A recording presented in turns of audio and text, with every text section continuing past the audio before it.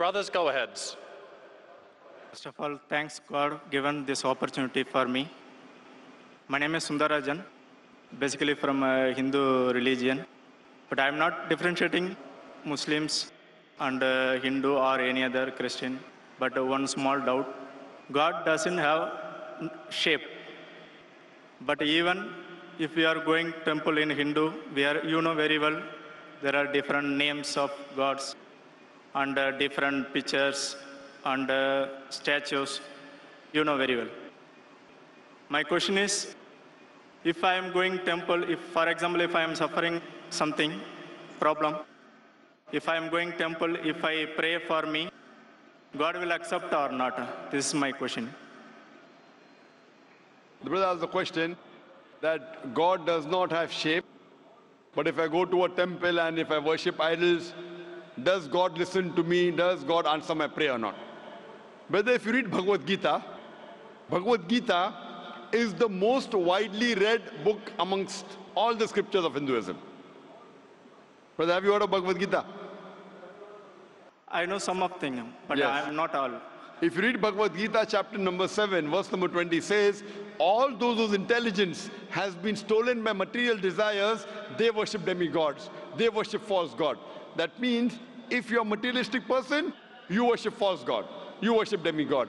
And further it says that those who worship false God, Almighty God, true God, yet answers your prayer, but you go to the kingdom of false God. That means even if you worship false God, God many a time answers your prayer so that you go to the kingdom of false God. Same thing is mentioned in the Quran in Surah Baqarah chapter number 2, verse number 15. That Allah gives them rope so that they may go to and fro. Allah says in Surah Baqarah to the hypocrites, to the munafiqs, to the kafir, that Allah gives them rope to go to and fro so that they will understand. So many a time Many a time, even if you worship the false God, your prayers are answered. That does not mean that you are worshipping the correct God. Because many people think, for example, many of the people who are non-Muslims, they are wealthy. They are leading a luxurious life. Now, wealth is not the criteria for you to go to Jannah. It's not the criteria for you to go to paradise. The Quran says wealth is a test anything which good befalls you, it can be two things. It can either be a reward from God or it can be a test from God. Any calamity that befalls you, it can either be a punishment or it can be a test. So suppose you worship a false God. You go to a temple and you worship the idol. Just because your prayer is answered, that does not mean you're worshiping the true God. God is testing you. You ask for wealth, God gives you wealth. God is testing you that do you follow the true path or not? Because if you read the Hindu scriptures, Bhagavad Gita is called as the nectar of the Vedas. The most superior scripture amongst all the Hindu scriptures are the Vedas. There are two types of scriptures. One are Shruti, the other is Smriti. Shruti is the word of God and Smriti is the word of human beings. So among the Shruti, you have the Vedas and the Upanishads. These are the highest. When you read the Chandogya Upanishad, chapter number 6, section number 2, verse number 1, it says, Ekam evadvitiyam. It's a Sanskrit quotation which means God is one without a second. If you read the Setara Upanishad, chapter number 6, verse number 9, Naksasya Kasij, Janita Chadipa. Of that God, there are no lords.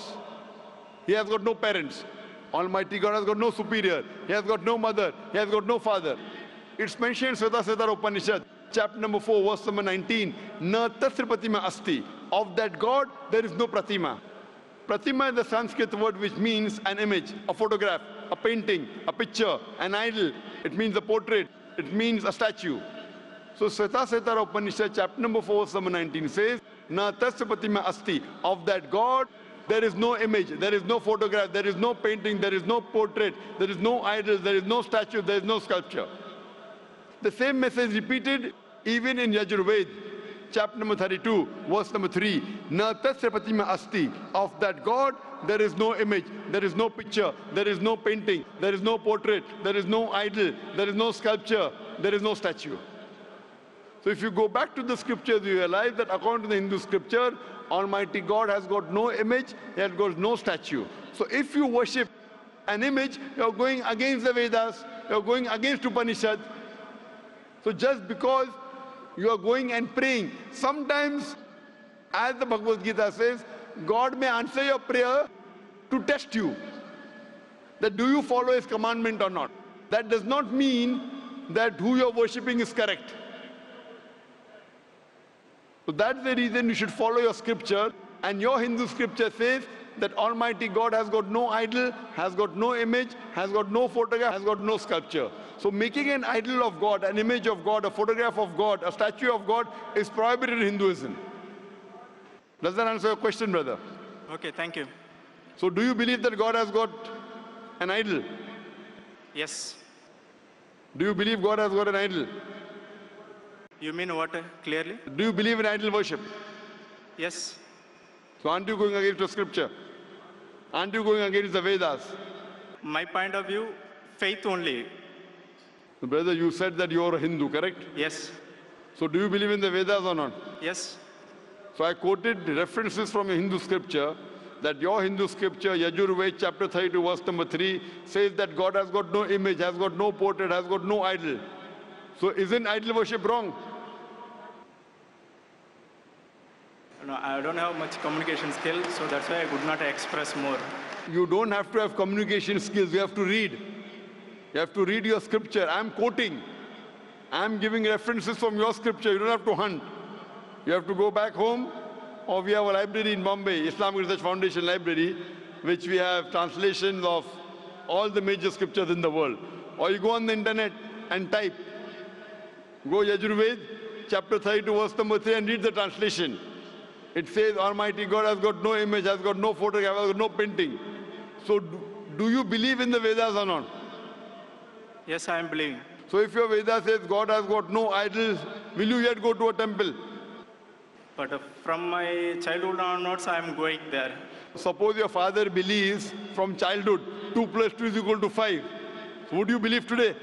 If they teach it from the first standard onwards, then I would also same thing. So if someone teaches in the village 2 plus 2 is equal to 5 from first standard and he comes to you, so will you say 2 plus 2 is equal to 5? That is the first case of my knowledge, then that is the way I will accept it. So suppose your son goes to a school and they teach 2 plus 2 is equal to 5. So will you say, son, no problem, continue? Will you say that? No, no, no, no. No, I- no, no, no, no, correct. See, see, see. What you will tell your son, my son, that teacher taught you wrong. See, already I studied 2 plus 2 is 4. So I cannot uh, put my son Oh. 2 plus 3, 2 is 5. No, but if he goes to a school, before admission, do you interview the maths teacher? No. No. So suppose the maths teacher teaches him wrong. So won't you correct your son? Yeah, I will correct it. Correct. So that's the reason I'm correcting you. I love you, brother. Thanks. Because I love you, I want to correct you that what you're saying is against your scripture. Forget what the Quran says, forget what the Bible says. If you read your Hindu scriptures, your Hindu scripture says that God has got no image, has got no picture, has got no painting, has got no idol. So if you're doing idol worship, you're going against your scripture. So what I request you, brother, today when you go back home, go on the internet, type Yajurved chapter 30, verse number 3, Svetasvatara Upanishad chapter 4 verse number 19 and try and read the translation and tomorrow inshallah come again we're having a question and session. Tomorrow at 9 o'clock. Same time. And inshallah we'll give you the first opportunity. Okay, thanks.